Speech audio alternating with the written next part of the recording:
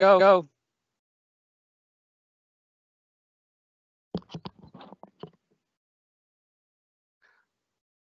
Good afternoon, everyone, and welcome to today's virtual Agile Shift conference session. Before we begin, I want to inform you about a feature in the presentation that will make the session more interactive. Please make note of the question mark icon at the upper right of the presentation screen. Clicking that icon will open the question and answer feature, which allows you to send questions to our moderator that will be delivered to our presenter at the appropriate times. We are excited to pre present Mathew Joshua, Manager of Software Quality Engineering at Wolters Kluwer, who will be sharing Teaching an Elephant to Dance. Take it away, Walter. I'm sorry, Mathew. Thank you, Mike. Uh, good afternoon, everyone. Uh, thank you for dialing in this afternoon. I want to take a quick moment to thank um, Devlin and Max and Mike and the entire uh, team for their servant leadership and also uh, doing something virtually for the Houston community. And actually, now this is a global thing, so thank you all. Um, I'm actually glad to be um, here this afternoon. Um, I do not know anything much about elephants or dancing, but this is an analogy. Most of us are probably familiar with the book Teaching an Elephant to Dance. It's about managing something complex, managing something large, change management.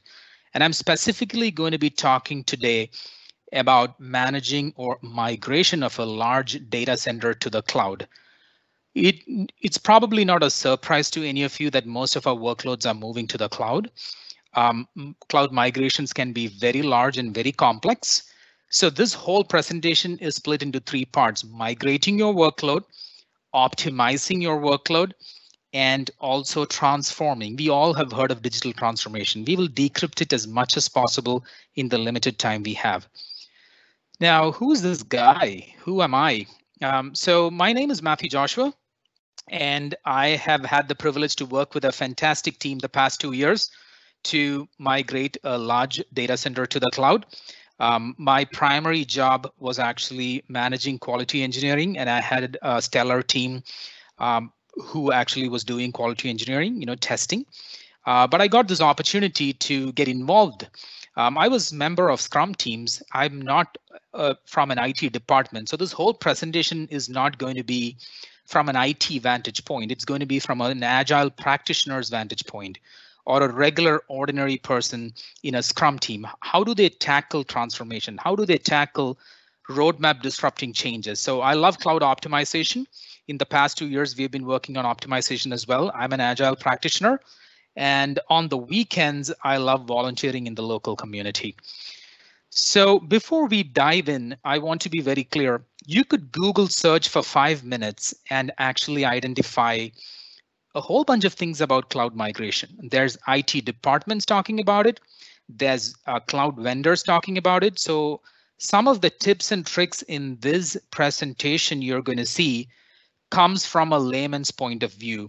What are some of the things you could do so that you avoid the pitfalls and the mistakes that I made or the mistakes that we made? And how did we manage to migrate a fairly large workload? Um, there's something for everybody in this. In the next few minutes, I'm going to walk you through how you could migrate your workload, or if you're already on the cloud, most probably several of your organizations are already on the cloud, I'm going to walk you through how you could potentially save tens of thousands, if not hundreds of thousands of dollars in optimization. You don't have to pay what you do not use. How do you optimize your workload is essentially what we're going to go through. Um, I have the privilege of working for a fine um, corporation uh, based here in Houston. It's actually Wolters Kluwer is based in the Netherlands, but we have an office here in Houston. Um, we cater to 93 percentage of Fortune 500 companies all the top 100 accounting firms and the uh, top 100 global law firms. What does this mean? This means that we have a lot of data centers and data centers are soon becoming a thing of the past. You walk into a software development organization now, you do not see a lot of those glass rooms with millions of blinking lights and hundreds of cables going from one server to the other. Now, under Wolters Kluwer, I work for this uh, division called Wolters Kluwer ELM Solutions. As you can see, we have 14 offices worldwide, and um, we actually spend a lot of time serving customers in an array of divisions, you know, different domains. It's not just one domain. We are kind of the Salesforce of uh, enterprise legal management. Uh, close to 130 plus of our clients are Fortune 500 companies.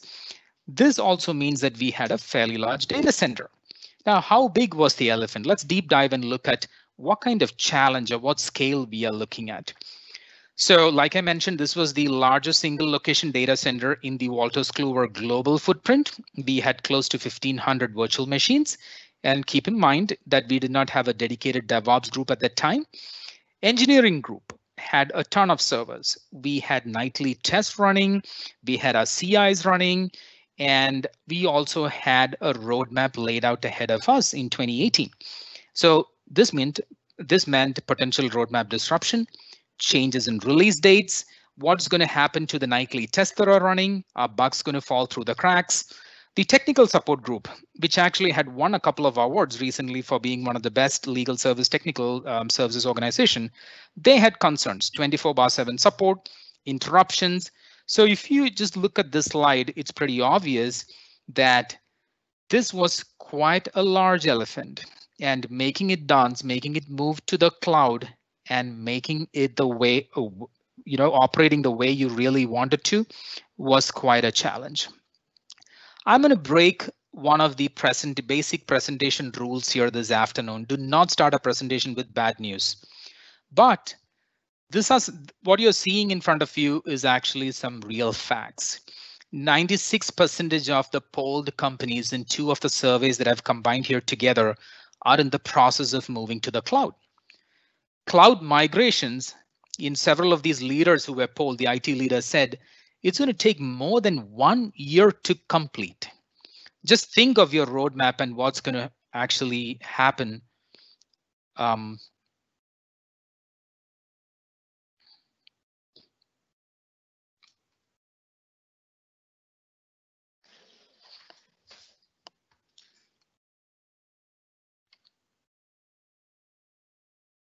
So just think of um, the impact that it could have if migration actually lasts more than um, two years.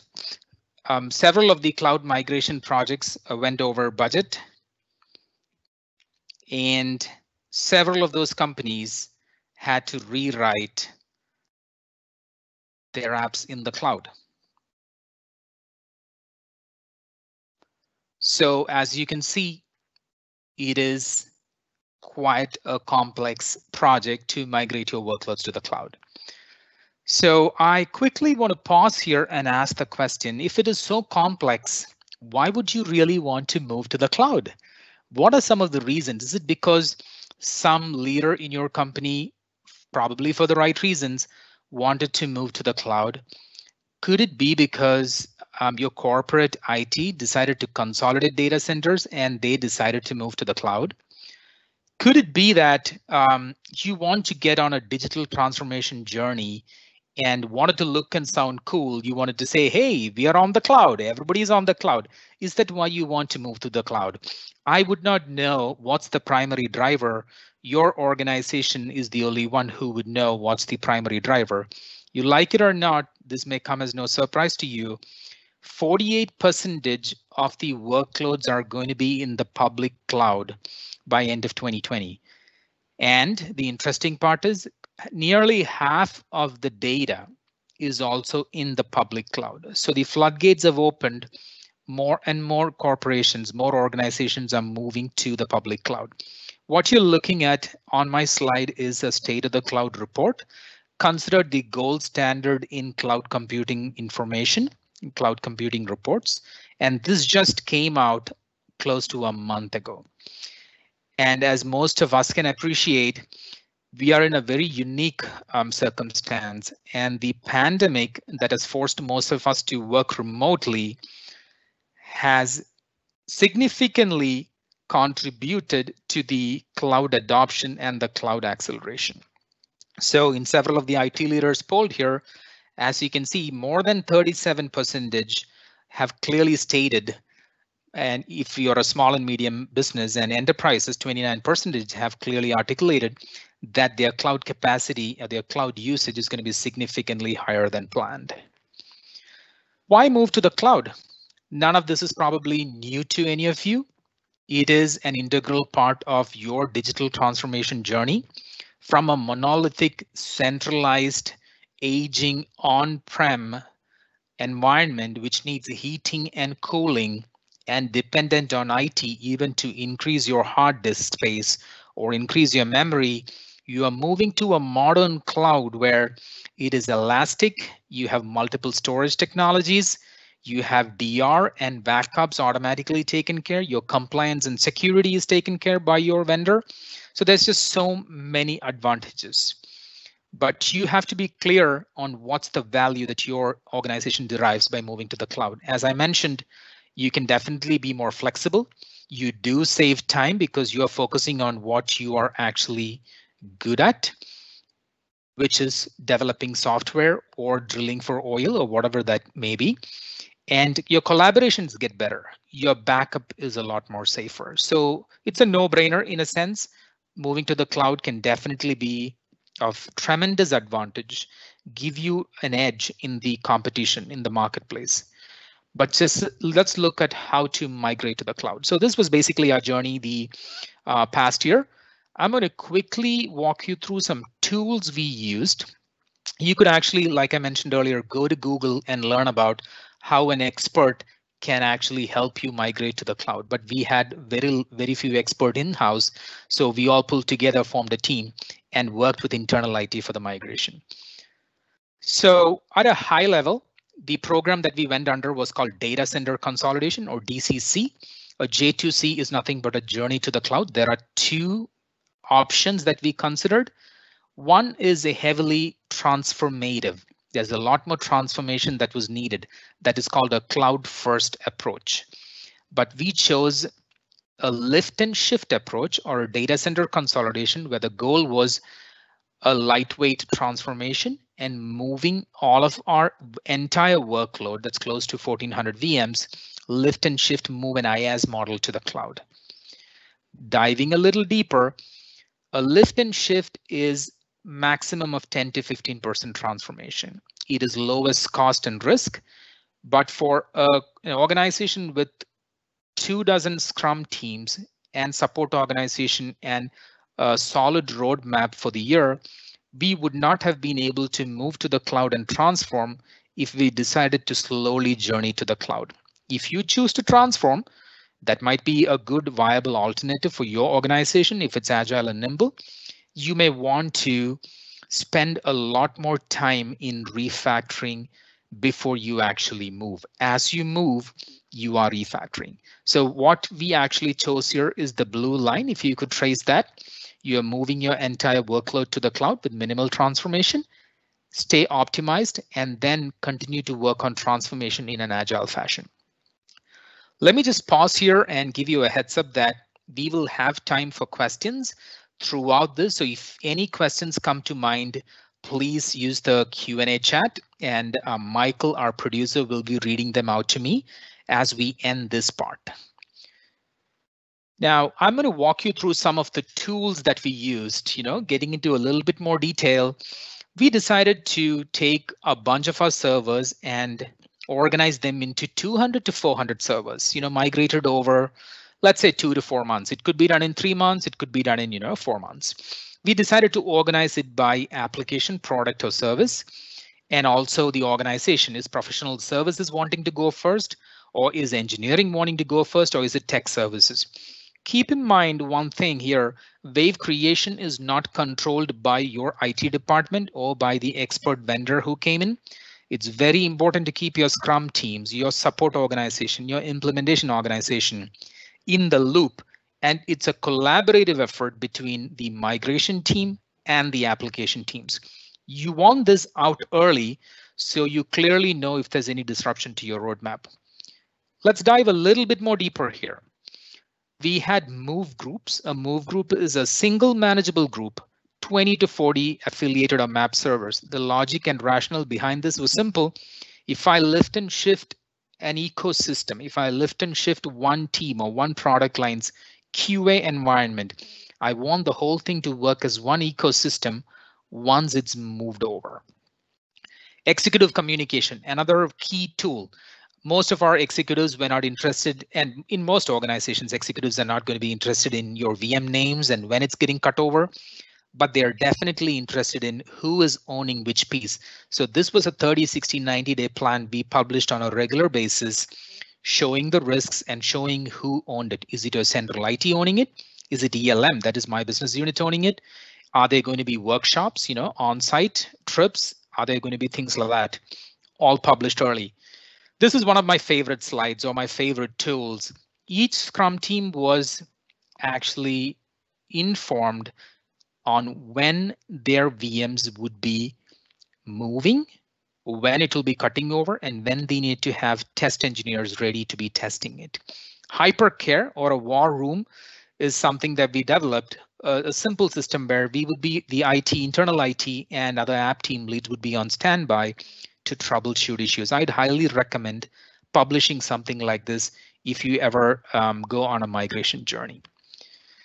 Going back to executive communication, instead of sending a long email or setting up a one hour meeting, we just had a weekly steer co or steering committee where we clearly articulated what was some of the um, risks in the project. If there was anyone who was not responding, some of the names that you see here are the names of my good friends who actually helped with this migration. Um, have they signed off on the list that I showed you earlier? Is there is there build and replicate that is pending? Um, did everyone sign sign off on the run books? You know, things like that. Um, one look at this and the senior executives knew that we are on the right track.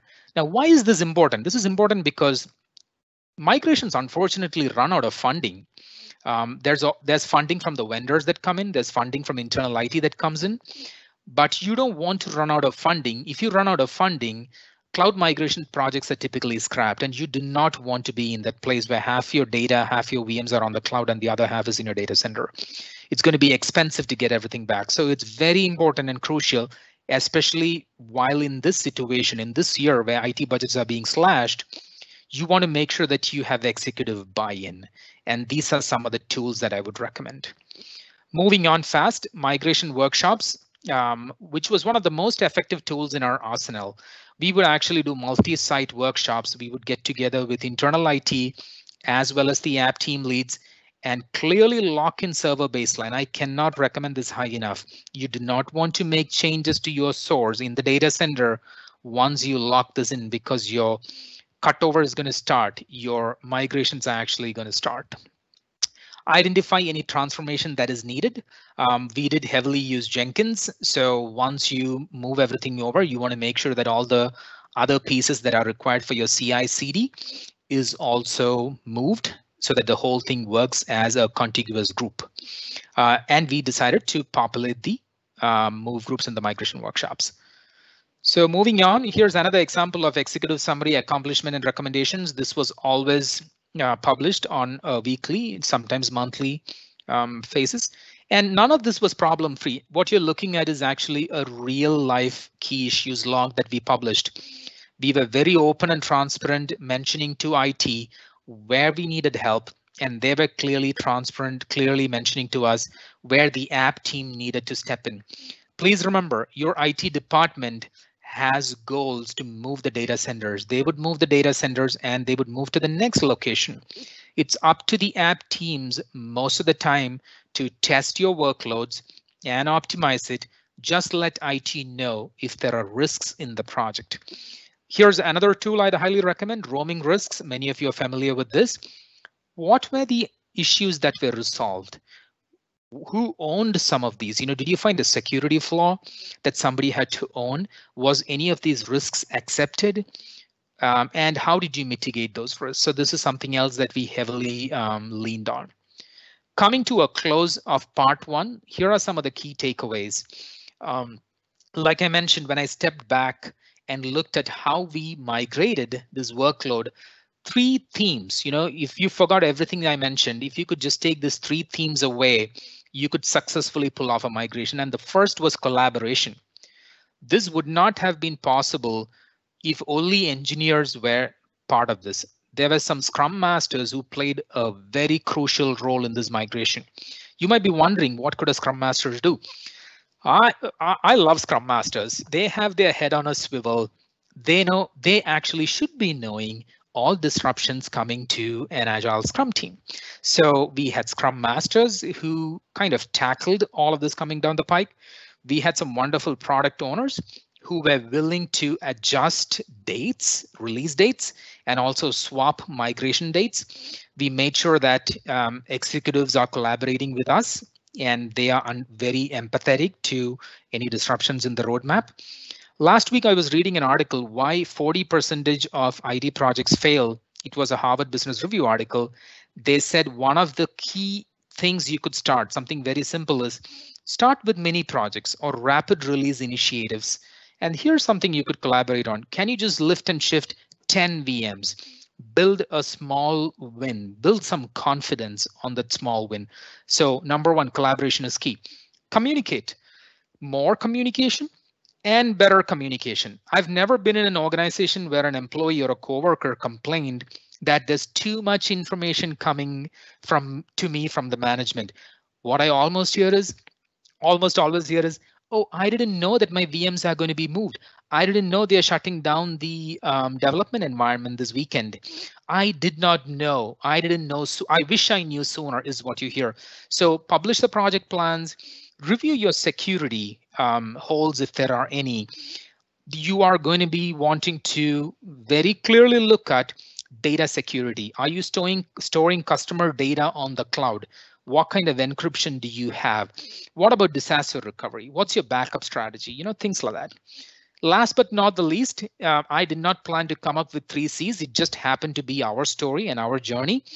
Your community of practice is going to evolve. You may not have a lot of fans in the beginning, but if you are working in a place with a bunch of developers and QAs and nerds, they will naturally be interested in gaining cloud skills. What we have realized is now we have a cloud community of practice with more than a dozen individuals. Some of my development counterparts have started to write PowerShell scripts, and we continue to bring in our cloud vendor on site and continue to invest in our community. Some of your, if you are with AWS or Azure, you may even get some credits to go crack their certifications and they may offer free training for you depending on the agreement that they have. So let's take a pause here before we jump into the optimization journey. Jumping from the fire, jumping from the frying pan to the fire is how we felt when we moved from migrating um, to fully on the cloud. But I'm going to pause here and go back to Mike Mike, do we have any questions at this point on phase one? Uh, we certainly do. We have five of them, in fact. Nice. So the first question, was every team easy to work with? How did you handle any teams who didn't want to move or had release work that made it difficult for them to find time to work on the migration? Uh, good. So I'm going to be very honest here. I know this is being recorded, but it's fine. We definitely did had some um, difficult, not just teams, it is probably an individual who was difficult. So two things. One, there's a bottoms up approach and a top down approach. For something as big as this, you want to go top down. You want your C level executives at product management and technology, engineering and product management to be completely aligned. So we had one product owner who did not want to move because he had a release date. I had multiple conversations with his C level and they decided to change one release date. Then there were multiple product owners. We had to get people on a call. So when you look at competing priorities, sometimes they were willing to swap. So this is where you have to play the role of a mediator.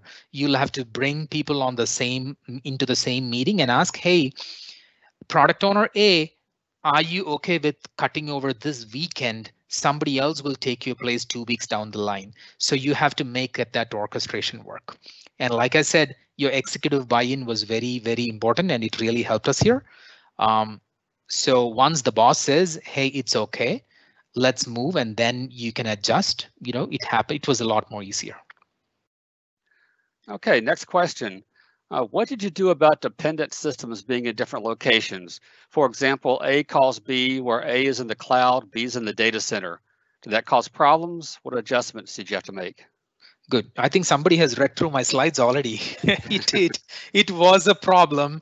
And that was one of the mistakes that we made. So we had certain boxes we had left behind um, in data center and we also use racks. Um, so we had some boxes in racks. We had connectivity issues from what we moved to the cloud talking to racks. So we had to get IT on board, did a little firefighting, opened up some ports so that the cloud machines could actually talk to other hosted machines. So we definitely had to include IT. I wish we knew about it earlier and planned for that outage.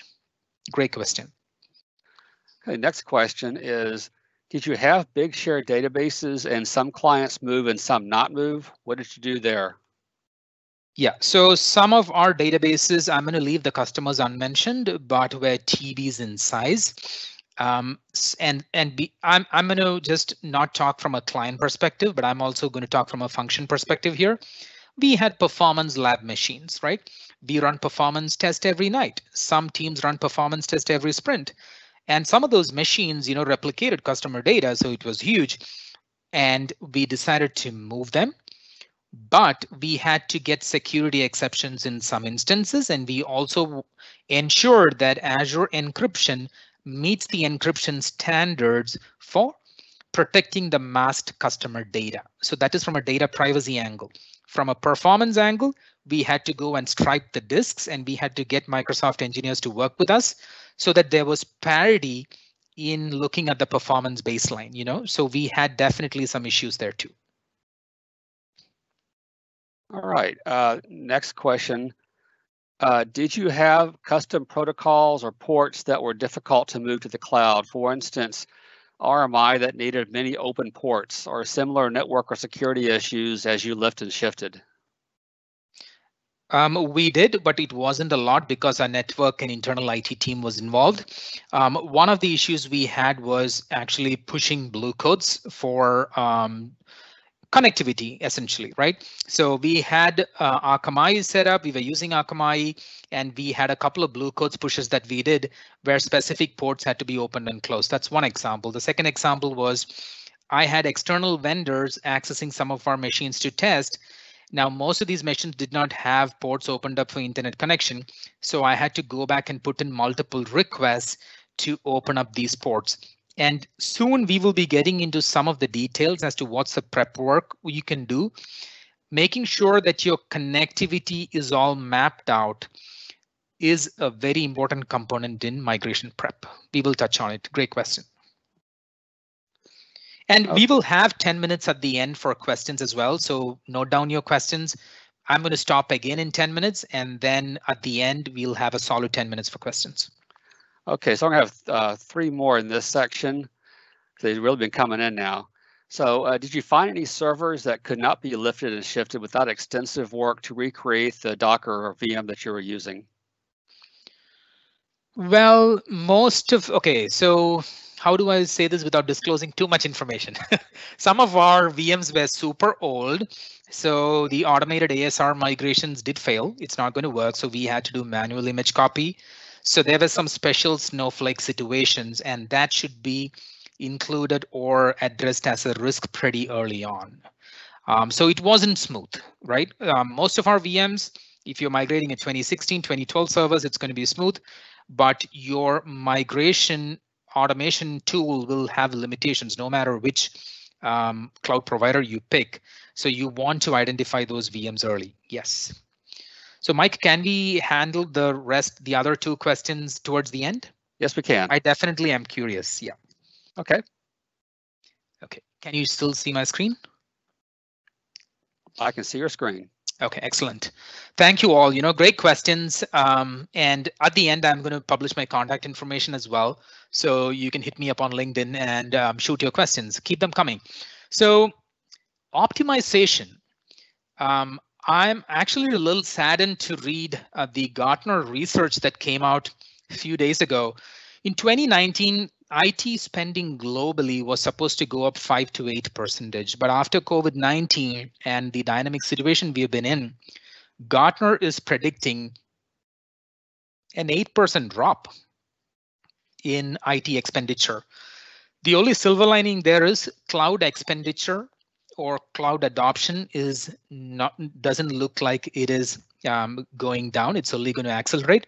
But I think it's important for each and every employee to keep dollars in your pocket, in your company's pocket, instead of handing it over to your cloud provider. So I'm going to quickly walk you through some of the hacks and some of the methods we tried.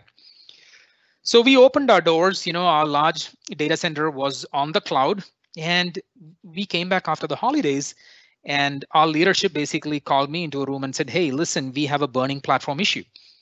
All of you are familiar with this term burning platform issue. What is a burning platform? This fiery term refers to the story of an oil rig worker living on the North Sea oil rig who woke up one morning to a loud explosion and an all consuming fire. The man woke up, ran out of his bed, and walked, stumbled upon the platform's edge he confronted a 30 meter drop, a 15 story drop. He just jumped into the freezing waters. It wasn't a good choice to face. So a burning platform issue, if your organization is using that term, indicates three things. It's sense of urgency. You got to do it now. This is important. And you have to make the changes work, no matter how difficult or frightening this process is. And when this employee who actually survived in the freezing waters, when he was rescued 10 minutes later, he noted that a burning platform caused a radical change in his behavior. So it's interesting to note we were not alone. We were um, definitely out of control on cost. But what you're looking at is the state of the cloud report I touched on earlier. 35 percentage of users are mentioning that they have a serious problem in wasted cloud spend. Now remember, every dollar that you save is probably equal to five or ten dollars in sales. So this is something outstanding. For four years in a row, if you read the Flexera State of the Cloud report, the number one focus seems to be optimizing spend. Interestingly, the number two is migrate more workloads, but the number one is optimizing the use of the cloud or cost savings. So we took a phased approach. If you are migrating, I would highly recommend reducing your footprint before you migrate. Think of you moving from one home to another. You bought a new home. There's a whole bunch of things you want to get rid of. So reduce your VM footprint if you can. Just by having conversations, we were able to reduce more than 100 VMs of different sizes. Resizing.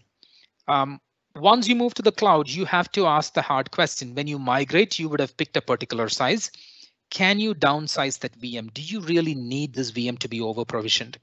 Third was regulation. Who can create VMs? Who can delete? Who can destroy VMs? And how many admins do you really need? Who is the owner of the subscription? You know, things like that. Last but not the least is reforming or changing how you do business. While all these phases were in progress, we had to continue to monitor we came up with close to a dozen reports, letting all the team leads and stakeholders know how we are spending, and we continue to advise uh, the business unit. I'm going to give you a quick overview on our cost optimization blueprint. The further right you look on my screen, the efforts are going to be more transformative.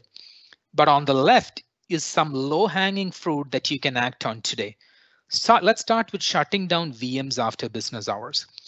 All of us drive to work, not right now, but you know, when we were driving to work, you know that after eight hours, you're going to get back in the same car and drive back to your home. But you don't leave the engine running, do you?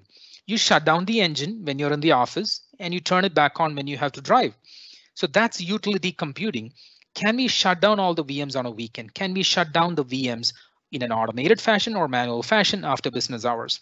The second one, take your most powerful VMs and ask the hard questions to the app teams. Can we downsize these VMs, guys? Do you really need so much of high powered VMs? Would you do an experiment with us? Backup, that was a big one for us. Do you really need to back up every VM when there's good DR mechanisms that your cloud provider is providing? Ask yourself that question. The next one actually saved us a lot of money purchasing reserved instances. Uh, I know for sure that AWS and Azure, two of the top two cloud providers, um, offer reserved instances. If you know a VM's capacity and usage, if your usage is predictable, I would highly recommend purchasing reserved instances for three years. You could save up to 30% to 40% of the cost. Automated power up and power down on VMs, we touched on it. Recently, we found out that we had 120 VMs or more that was unused for four months. Just by sending out email communication, we had several of those VMs deleted. So keep in mind, no app team is going to come to you and say, hey, I'm OK deleting my VMs. You have to constantly watch and report and ask if they can um, delete VMs. Sharing VMs and stacking products. Now we are getting into more transformation. That's something that we want to consider. And containers. You know, there are several container fans.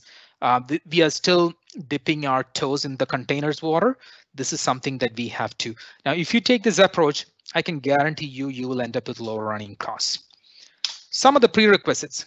Please, please have a solid cloud governance policy. Monitoring using Azure Monitor or whatever monitoring tools, tagging of elements. Without tagging of elements, you will not be able to predict who is using up all of this. Who can create, who can delete, who can resize VMs. Can anyone just create a VM? Does it go through an approval process? You know, this is basically governance. Here's one of my favorites, communicating actionable info, not just a lot of data, but some what you're seeing on the screen is some of the things that we started reporting on.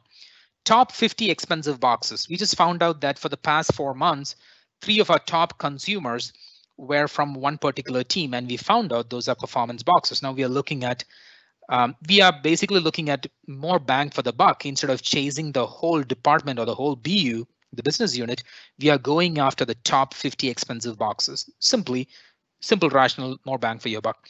We have weekly consumption reports going out, and we always look at Azure Advisor recommendation. And um, here's one of the things that I would like to recommend. What's the motivation for a development team to reduce their infrastructure cost? Talk to your leaders. If you're a leader, would you like to gamify it? Several organizations have gamified it, and they have found out that each team is willing to go the extra mile, reduce their infrastructure costs based on the budget you give for them. How about giving them an Amazon gift card or a reward, a cash reward based on a percentage of the drop that they come up with? Some of the effective optimization levers that worked for us, I already mentioned. Um, turning things off. A Friday mass shutdown is something that I'm going to walk you through in a second. Here's another culture change that you will have to drive in your organization. Most VMs are cattle. It is not pets, but you know, we all know those developers and QAs who hold on to their VMs. What, why, what do I mean by pets versus cattle? In a traditional approach to operations, assets in the data center is viewed as a pet. Each server is hand raised and considered to be an extended member of the family, lovingly cared for and nurtured. When your servers get sick, do you really nurse them back to health or do you get rid of them? That answer should tell you if it's a pet or a cattle. If a pet server comes ill, an administrator rushes to the aid of that server, you know, you fix it, you nurse it back to health. Family portraits of these pets are often found pinned to cube walls, usually in the form of Visio diagrams. So that's basically the difference between a pet, sorry about that, um, a pet and, a, and, and cattle. In the cloud, cattle translate to a stateless and transient infrastructure. The infrastructure is commodity that can easily be recreated through automation. So this is a, a paradigm shift. This is a culture change where teams will have to understand, hey, all of my VMs are not pets. I may have one or two pet VMs, but most of my VMs are cattle. Here's another big one we found, reviewing storage deleting and recreating premium disks. Um, I actually was amused to know that some of our most expensive VMs were deallocated, were shut down. And I asked myself the question, how can a VM that is not running cost you money? Answer was storage. If your storage is expensive premium, think of downgrading it to standard SSD and also think of deleting them and then recreating them when you power your VMs back up. Transformative in nature, but definitely great bang for your buck. And also look at enabling backups carefully. We just shut down backups for a whole bunch of our VMs that were non-business critical, and that did save us a lot of money. Please monitor using whatever monitoring tool your cloud provider is providing. In our case, it was Azure Advisor. And Azure Cost Management gives you a good idea about where your costs are trending, how things are going. I want you actually to um, show you a, a very simple um, graph that shows how well we did by taking one action. We decided to shut down VMs on a Friday after business hours, all of our VMs. Now, there were exceptions. There were build VMs. There were certain customer critical VMs. We did exclude them. The interesting part was on a Monday, everything wasn't coming back up. It was gradual. Some of these Mondays were, you know, company holidays. So we would see a gradual powering up based on the need.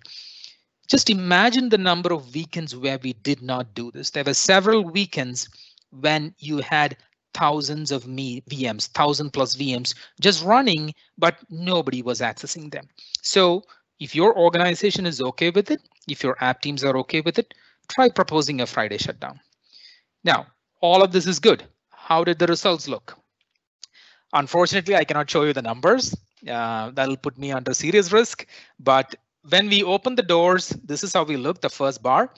In two months, we were able to uh, get a quick you know, dent in the equation.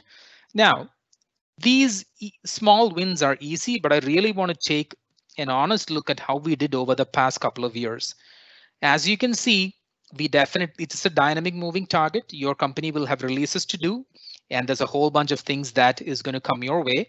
But we went from, if you look at May of 2019 and the last month, May of 2020, we are talking about more than a 25 percentage drop. We are talking about more employees added in the last year, more products being shipped, more releases. So we're talking about probably 30% plus, but I just would go with 25% for the sake of this presentation. All of the actions that I just mentioned now, without much transformation, helped us save a ton of money. So over the year, this could potentially be hundreds of thousands of dollars. And as I mentioned earlier, without some rockstar scrum masters we had, product owners, some of my counterparts were development leads, and we had a fantastic architect also from internal IT, we would not be able to pull this off. As you can see, you know, the testament here. So let's look at our scorecard. Um, all of our in-scope migration servers, that is 1300 plus, were migrated in nine months. It was optimized and transformation, we are well on our way. So I'm going to pause here real quick and considering the time, we are going to, um, I'm going to quickly walk you through this slide and pause for questions here. If if you want to take this whole thing that I mentioned and put on plan on a page, I would say pre-migration, you have a little bit of homework to do. Choose how much of cloud transformation you want to go through. Do you really want to go an IaaS model or do you really want to go into a PaaS or a SaaS model? Publish the vision. And in every section you can see on screen, I have underscored one particular element that stands out to me as a business owner or you know from a business standpoint. In this particular case, pre-migration, please get buy-in from your app teams. Bake this into your roadmap. There's going to be some disruptions. Define a performance baseline most of you probably have performances running. It's going to be very useful once you migrate to the cloud. While you are migrating, start with a small win. Leverage automation as much as you can. And I'm again highlighting an important thing. You will have IT project managers and typically in large corporations, IT will not and does not know what the app teams are doing on a day-to-day basis.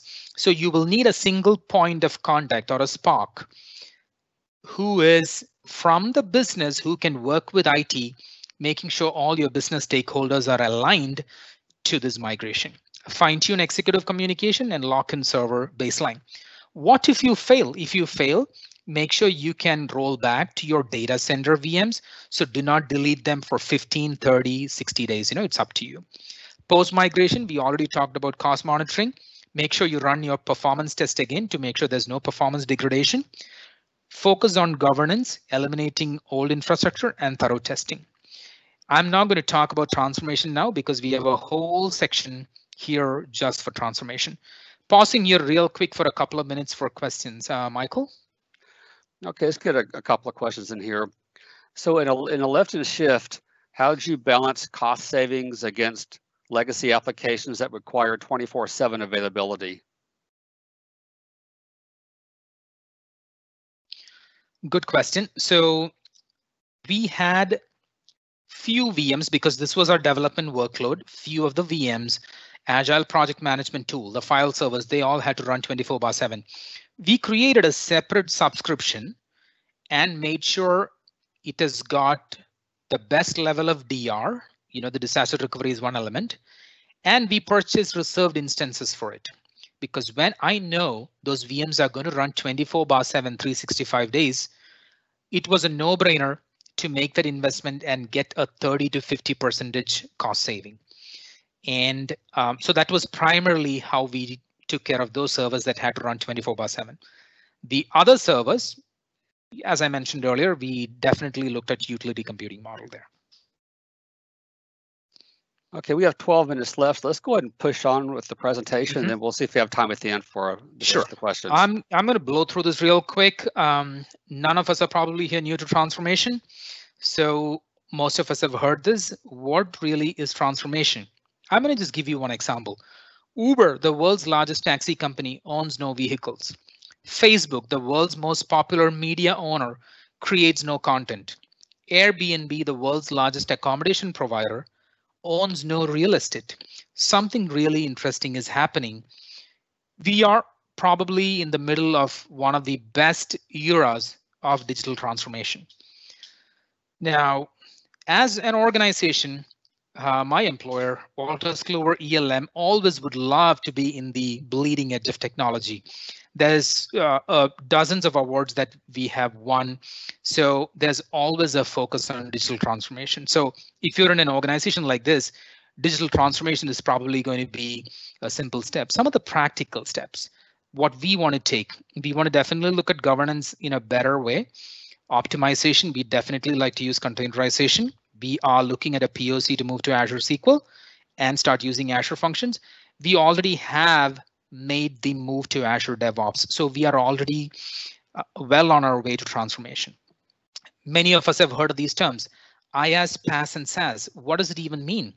The question really you have to answer is, how much do you want to manage and how much do you want a provider to manage? Now, on far left, on-prem, most of it is managed by you when your data center is on-prem. If you are moving to an IaaS model, you manage less. If you move to PaaS, you really manage lesser and let your provider manage more. If this is too technical for you, how about looking at PaaS in a different way? Pizza as a service. You want to make pizza at home? From the cheese to the dining table, you got to provide everything. What about a take and bake pizza? You manage just a bunch of things, but the pizza dough, the sauce, toppings, and cheese is managed by your vendor. Now, what's the most, what do we do if we want a pizza? We always look at PaaS, right? we just pick up the phone and they deliver the pizza. So this is an analogy or an example I would ask, highly recommend for you to think about how much do you want to focus on managing your infrastructure or do you really want to do what you're good at and you want to spend money there? And as you start on a digital transformation journey, you're going to have pushback. So be prepared. Your digital transformation ship is going to move forward only if you destroy this iceberg. You're going to have people who are going to say, oh, we don't need to do it here. That's not how we do here. We've always done it that way. If it ain't broke, why fix it? Um, we tried that. You know, we tried containers two years ago. It didn't work. You know, why do you really want to try it again?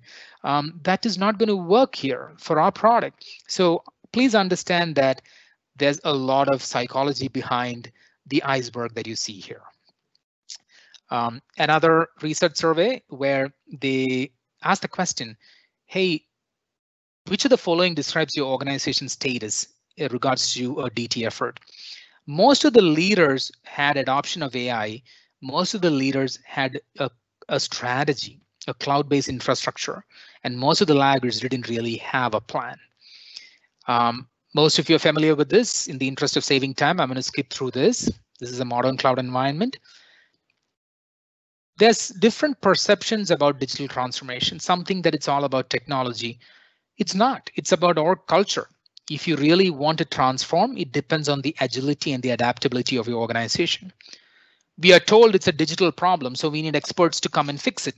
It's not just a digital problem. It's actually about human behavior, not just tech. Some of us have the perception that we can spend our way to leadership. There was a Bain and Company study that actually stated that only 8% of the folks are who are leaders and they didn't spend much. Some more perceptions. I need to lift and shift or transform everything at once. Doing everything at once would increase your risk of failure. So take an agile approach. Some of us feel that digital transformation is simple. We have heard it before. Like any successful approach, if it was easy, everyone would be doing it. And it will not happen naturally. It's a lot of hard work, a lot of work in the trenches if you really want to actually transform. Now, most of us are familiar if you worked in a corporation with SMART goals, specific, measurable, attainable, realistic, time bound. I'm not going to put you through it again, and you're not going to find this on the web. When I actually looked at how we are transforming, I came up with a SMART approach. This is an acronym that it's very simple and non-technical, but you can take it back to your teams. Let's just start on a strategy. That's the S. Do you have a digital transformation strategy? It could be a one pager. Can you start on that? And the M is why do you want to do it again? Can we have a metrics driven organization where the business outcomes are measurable? Is it to save cost? Is it to be a leader in your market segment? Is it to be more agile and adaptable?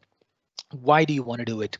please take an agile approach. If they can build aircrafts using an agile approach, we can definitely transform an organization by making incremental improvements. You don't have to do it all at once. R, reducing technical debt. Most of the leaders who were polled in several research um, studies said one thing, the number one deterrent or the number one impediment for digital transformation in my organization is reducing technical debt. You don't need to go to the cloud to reduce technical debt. My humble request, please don't take all your debt to the cloud. You will have a lot of work to do and it's going to be expensive. What's the technical debt you can reduce now? Are there products that could be refactored now? Can you bake it into 2021 roadmap? Let's reduce technical debt now. That's where digital transformation starts. T is for training. There's a lot of learning that's needed, but you provide the S, M, A, and R, I can guarantee you there'll be individuals in your organization who will raise a hand, join your community of practice, and they will definitely want to learn. I'm going to stop in a minute here, but let me ask you, let me challenge you, what could go wrong even if you try digital transformation and if it doesn't go well, like George Westerman has said, you will still have a very fast caterpillar. 90% of the CEOs believe that the digital economy will impact the industry, but most people do not have a strategy. So I'm going to stop here and um, ask if there's any questions. Back to Michael. Yes, we have a few more. So what were the things that delayed you during your migration to the cloud the most that were unexpected? Okay, so Number one was we had to get the app teams ready for testing. You know, there would be PTO schedules that we had to work around. Um, when you are migrating one move group, the depart the IT guys have already moved to another move group, and the app team, because of the release date, did not give the feedback on time. So it was a ripple effect. When you are battling one move group's issues, you're unable to go back and check something else. So just making sure that everybody is lined up was one of the challenges for sure. Um, and as I, I think I touched on earlier, some of the interconnected nature. Um, VDI was another problem that we had. Our VDI solution was not mature enough for us to migrate. We didn't think about it earlier, so we had to quickly go back to the whiteboard. So that was another one. Um, I had to get multiple security um, approvals for customer data on the cloud. So another five, maybe 10 more meetings. So these are things that you don't plan. And because our timeline was aggressive, nine months for 1500 servers, all of this, right? It was um, everything made a big difference. Um, okay, we have we have time mm-hmm. for one last question. Uh, how did multiple Scrum teams communicate between each other if some work overlapped? Did you use Scrum of Scrums or something else? Yeah, we did have Scrum of Scrums, and we had some really good Scrum Masters who would actually be communicating. Um, one of my goals was not to be the bottleneck. So all of these communications, we would just copy the engineering PMO where, where you had actually all of the Scrum Masters. So Scrum Masters had their head on a swivel, and I had actually a rock star Scrum Master who is uh, her name is Eva. She's actually still helping with the optimization. So I was surprised that you know people who are Scrum Masters are normally very organized, and um, they they would love to help. You know, I don't know specifically each team Scrum Master here, but just reach out and um, they'd be they they are very organized. I think Scrum Master, an average Scrum Master, is more organized than me. So um, you know that is how we communicated the distribution list, and we did have um, morning stand-ups, and we definitely had Scrum Scrums.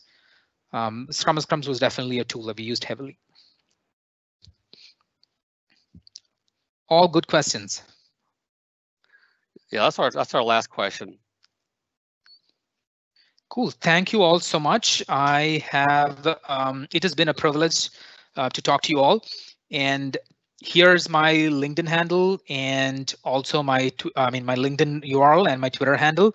Uh, finally, we are making the elephant dance. So if you have questions, just hit me up on LinkedIn um, you know, I know several of you are here because you are agents of change and agents of transformation.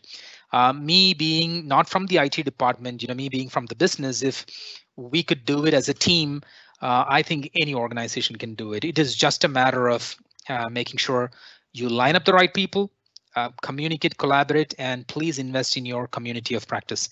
Thank you, Devlin, Max, Michael, and team once again, and thank you all for attending. Uh, thank you all for attending today's session. And Mathew Joshua, thank you for your great and informative presentation. Uh, we value thank continuous you, improvement and your feedback. Uh, please complete a survey for this session by logging into sched.com, locating this session, and then clicking the feedback survey button.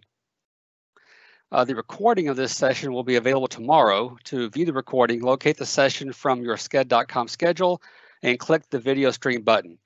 We hope you enjoy the rest of Virtual Agile Shift. Have a good day.